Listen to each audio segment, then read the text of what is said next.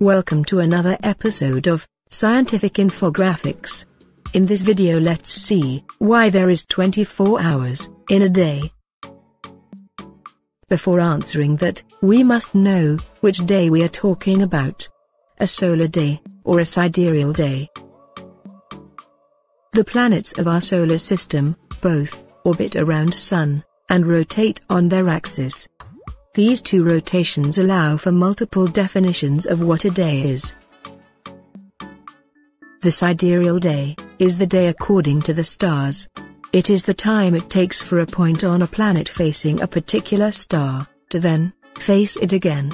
On Earth, this time is 23 hours and 56 minutes.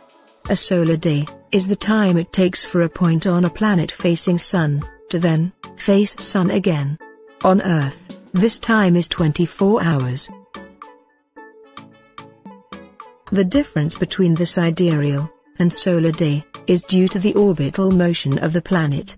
For Mercury, Earth, Mars, Jupiter, Saturn, and Neptune, orbital motion is in the same direction as their rotations are. For these planets, solar day is longer than the sidereal day. But for Venus, the only planet with retrograde rotation, the sidereal day, is longer than the solar day. Thanks for watching.